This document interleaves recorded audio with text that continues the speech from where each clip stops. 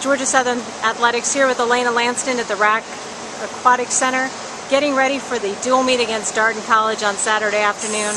You guys just came off a big training trip to Florida Gulf Coast and you guys worked really hard before the holiday break.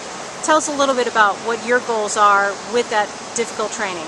Um, we do a lot of difficult training and hard sets to prepare us in each specific event for uh, our conference meet, and I believe that we did a really good job of that in Florida and back here at home. When you work specifically in sprints, when you're competing in sprints and you're also going to be doing the backstroke, what are some of the goals that you have as part of a relay team and then in your individual events? Um, definitely working on starts, turns, and finishes. That's basically um, everything you can do in shorter sprint events. And I believe our relays are very prepared for our conference, invitational, and um, every other meet that we have this season.